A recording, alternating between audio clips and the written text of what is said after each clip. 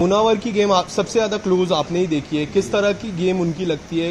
बहुत दिल का आदमी है साथ बहुत कुछ हुआ होता है लाइफ में स्ट्रगल हुआ होता है, वो जब उसको ऐसा कुछ मौका मिलता दिखाने का तो वो पूरी दुनिया के सामने दिखा पाता है कि वो कितना सच्चा इंसान है। और इसीलिए हम कह रहे हैं विचार हमारी दुनिया को कि हम बहुत जल्दी किसी पर इल्ज़ाम लगा देते हैं और दूसरी साइड की स्टोरी हमें नहीं पता होती।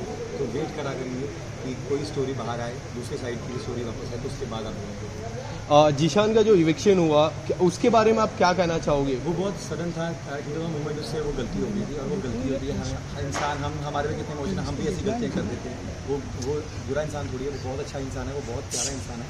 तो गलती हुई उसने माफ़ी मांगी उसकी सज़ा मिली उसको शो से बाहर चला गया।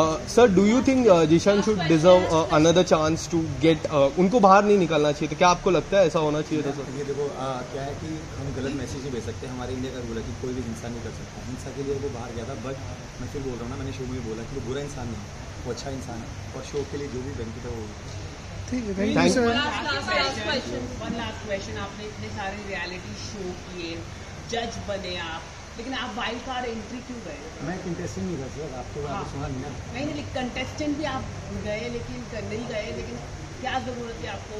तो हो था शायद आपने देखा नहीं मेरे को टेम्पटेशन मिली थी कि अगर मैं इस शो में अच्छा करके जाता हूँ तो मैं और इनके शोज़ कर रहा हूँ जो बहुत जल्दी अभी आपको मैं बता दूँगा तो नया शो आपको मिल रहा है मिला है। तो उसके लिए आया था और मेरे को लगता है चैलेंज बहुत पसंद है। जब मुझे लगता है कि रियलिटी की बात होती है तो मुझे लगता है कि मेरे अंदर रियलिटी तो आ, मुझे जब भी किसी ने रिस्पॉन्सिबिलिटी दिया तो मैंने उसको निभाया और मेरे लिए कोई काम नया पुराना और छोटा बड़ा नहीं है।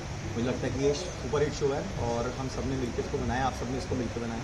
दैट्स रीजन कंगना जी के साथ आपकी बॉन्डिंग किस तरह की थी? क्या कुछ इंटरेक्शन हुआ उनके साथ? अच्छी थी बहुत अच्छी थी और कंगना मैम बहुत ही प्रोफेशनल है। जब भी स्टेज पे आते हैं वो बहुत ही तरीके से बात करते हैं सबसे सबको मोटिवेट हम मान लें कि खतरों के खिलाड़ी आपको मिल चुका है।